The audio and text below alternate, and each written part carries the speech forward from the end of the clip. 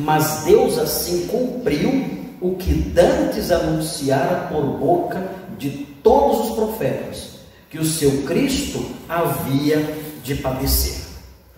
Bom, isso aqui, o versículo 18, é um tema constante no livro de Atos.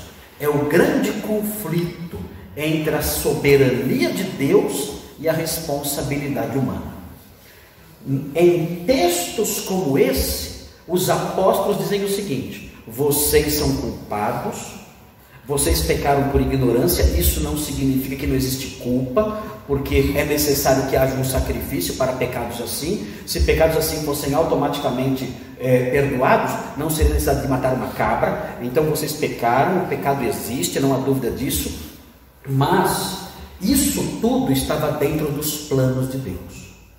Essas duas coisas, elas se harmonizam na cabeça do autor de, de, de Lucas. Ele mostra: olha, uma coisa não anula a outra. Vocês fizeram o mal e esse mal, vocês são responsáveis pelo mal que fizeram. Mas lembrem-se, esse mal que vocês fizeram estava nos planos de Deus. Como a gente harmoniza as duas coisas? Não sabemos. Deus não revelou isso para nós. Os apóstolos e escritores, eles afirmam isso o tempo todo. As duas coisas. Vocês precisam de arrependimento, vocês precisam se converter por causa do mal que vocês fizeram. Vocês precisam abandonar esses caminhos todos. Vocês praticaram o mal. Vocês são assassinos piores do que Pilatos. Vocês são piores do que os, os pagãos.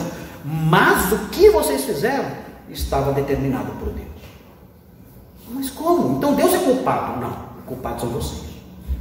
Vocês têm que se arrepender. Mas não foi Deus que programou isso? Foi. Foi Deus que programou isso. Mas vocês são culpados. Mas como? Não explica. Não explica.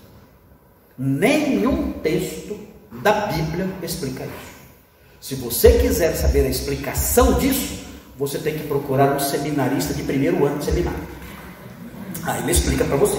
Sabe tudo. Ele vai explicar. Vai explicar tudo, com toda a sabedoria dele. Né? Mas se você procurar um teólogo de verdade, ele vai dizer: olha, isso não não há como harmonizar essas coisas. Não tem jeito. É, essa, isso é, é, é uma peça no quebra-cabeças de Deus que Ele não nos deu. É, são dois elos de uma corrente, mas tem um terceiro elo que liga as duas. Onde está esse terceiro elo que liga as duas? Onde está? Deus guardou para ele. Ele pegou para ele e guardou. O apóstolo Paulo fala assim: é, é, o apóstolo Paulo discute né, com os seus leitores, dizendo assim: de que Deus se queixa ainda? Se ninguém resiste à sua vontade, por que Deus então condena a pessoa, reclama da desobediência? Por que ele, do que ele se queixa se a vontade dele sempre é feita? Como é que ele pode condenar o, o, o pecador e, e, condenar quem comete o mal se tudo é o decreto dele? Paulo fala assim: quem és tu para discutir isso com Deus? Ele responde assim.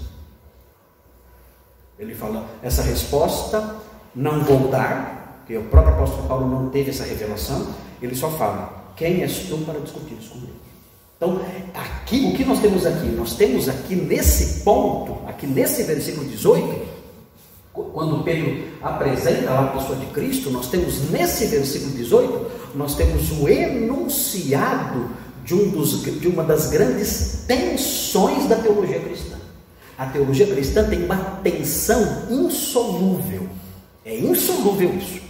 É uma tensão insolúvel. Não há como aliviar essa tensão.